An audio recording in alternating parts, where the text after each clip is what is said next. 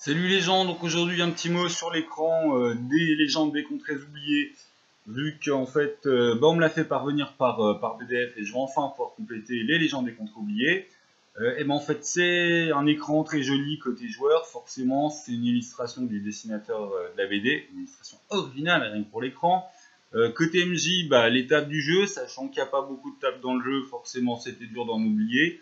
Le seul manque, c'est par rapport aux règles de magie du supplément, bah ça tu les as pas. Donc euh, petit manquement, mais bon, c'est les règles additionnelles qui sont sorties après l'écran, c'était dur d'y faire quelque chose. Et on va parler directement du scénario, scénario qui est plutôt sympa, qui pourrait se résumer euh, de manière assez courte, mais euh, en fait ils ont consacré pas mal de pages pour. Mon précis page, c'est, je servais quelque chose, Allez, perds ton temps, Benoît. Voilà, petit scénario en 14 pages.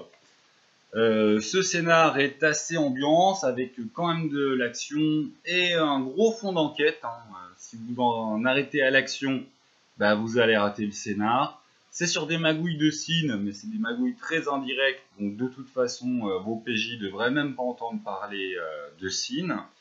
Et là où c'est très sympa, c'est que ça se passe directement chez les Morbelins. Voilà, avec... Euh, ah, je replace des voilà partout. Euh, avec en fait... Euh, hein, est-ce que je déflore ou pas? Allez, voilà. Les, potentiels joueurs, cassez-vous. je vous laisse 5 secondes pour partir. Méchant joueur. Va-t'en, va-t'en, va-t'en. Voilà, donc Annie MJ, on est entre nous.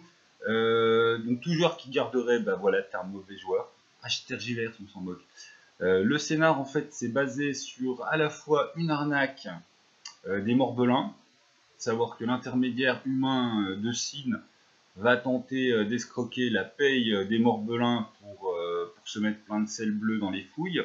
Il a une teinture magique qui permet de transformer le sel rouge en sel bleu et compte payer les morbelins un coup de sel bleu. le scénar se, se, passe dans une ville vraiment sympa, en fait, où on, est dans des filons de sel noir, il euh, y, a vraiment de, la grosse, ambiance bien sympa. Il euh, y a des scorpions volants avec ailes de libellule.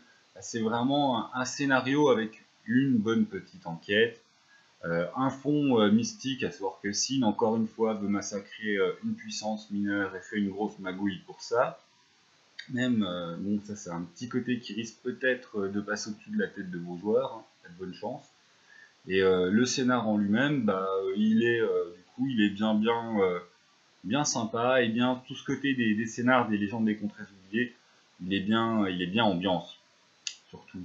Donc ça va faire déjà 3 minutes pour rien dire, tout simplement que l'écran des légendes des contrées oubliées, il est beau côté joueur, il est pratique côté MJ, même s'il n'y a pas l'étape de magie, et que le scénar qui va avec, et eh ben c'est, euh, je l'ai trouvé meilleur que celui qui est dans le livre de base, moins bon que celui, enfin que ceux qui sont dans les annexes, voilà, tout simplement, les annexes, n'importe quoi, un premier supplément?